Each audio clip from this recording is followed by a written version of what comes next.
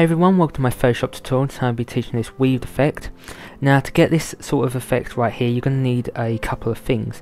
You need a picture of a model, which I'll give you in the source files, uh, which you can download from my website, and the link is going to be in the description bar. Now you might have one of yourself that you need to cut out. Um, so let's just jump in right into the tutorial. So we're going to go up to File, and we're going to go on to New and you need to make a new page with the width of 1280 pixels and the height 1024 pixels. And the resolution is going to be 72 now once you've done that click OK. And then we're going to go over to the gradient tool. So just under the paint bucket hold down click and press gradient. We're going to go up to the top. Now you can change whatever colours that you want here. I'm just going to go for dark brown to a light um, beige sort of thing. And then click OK. And then we're just going to drag from the bottom upwards. And again. Like that. And we're going to go make a new blank layer. You can do this by clicking on the new blank layer icon on the bottom right hand side. Like that and we're going to go to the paint bucket tool. So go to the gradient and click and press paint bucket tool. Make sure you've got the foreground color to black. And we're going to put that black. And then we're going to go to filter. We're going to go over to noise and add noise. Now the uh, settings that you're going to be needing, needing here sorry is monochromatic checked on and uniform.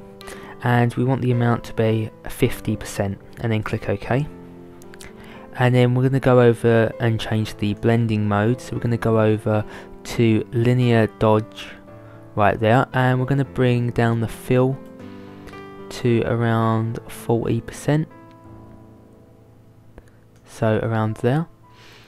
Now once you have done that uh, we're going to be needing a model. So I've already cut out my model here. Now you can find models on uh, websites and all stuff, stuff like that really. But if you want this as I said you can download it from my website.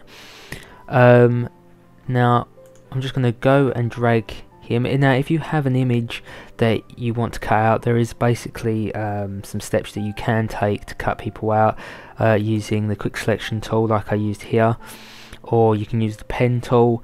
Now there's a loads of different ways that you can use uh, to cut uh, people out but that's for a different tutorial and you can refer back to my other tutorial if you need to know that. Now we're just going to go and use the move tool which is at the top and we're going to drag him and put him in our image. Now he's pretty small at the moment so we're going to press Ctrl and T on our keyboard and we're going to just bring him up so about there a bit and then click the tick icon at the top now, as I said, it was basically really, really quick on how I cut him out. As you see, um, he is a bit uh, bad around the edges, but you're not really going to see that once we start work on him. So we're going to make a new blank layer just underneath uh, him. So we're going to go to the black layer down below and we're going to press the new blank layer icon on the bottom right hand side and we're going to go over and make sure that we got black selected as our foreground colour going to go to the paintbrush tool and we're going to hit the size to 1 pixels. And the hardness can be 100% and the opacity can be 100% and the flow can be 100% now from here we're just going to go and do loads of lines. Now if you can't see obviously you can't see behind it we're just going to drag this layer up to the top so we can see what we're actually doing and all you have to do is keep making squiggly lines all around him. That's all you need to do really. And this can take some time. Now once you have done um, all your squiggly lines that you need to do we're just going to I'm just going to quickly do some more just to show you what it looks like in the end. That's all I say about there we're going to drag that top layer down one so it's behind him again. And we're going to hold down alt on our keyboard. And you'll see a little line just before the two layers so just in between. And then we're just going to click and he's disappeared.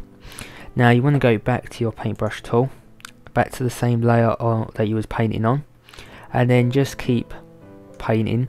Now if you don't uh, want to go outside the boundaries of him you can hold down the control key and click on his layer and it'll make a selection around him.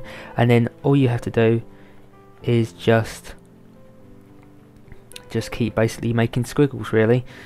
And now once you've done that you'll get something like the original image I showed you before. So if I jump over to that image again and that's basically the image you're going to be getting right here. Now if you don't want uh, these bits that's gone outside the boundary you can hit the eraser tool. And you can just go around taking those bits out like there or there so one, now that's done that's basically the whole image created. Now you can make loads more effects to go on this. You can add more people um, you can add some shadows and stuff like that. Uh, but this is a tutorial just to basically show you how to do this sort of thing. And I'm going to let your creativity um, flow. And you can add from this. So don't forget to download the source files if you need them and that's about it for this tutorial and I'll see you next time guys. Bye for now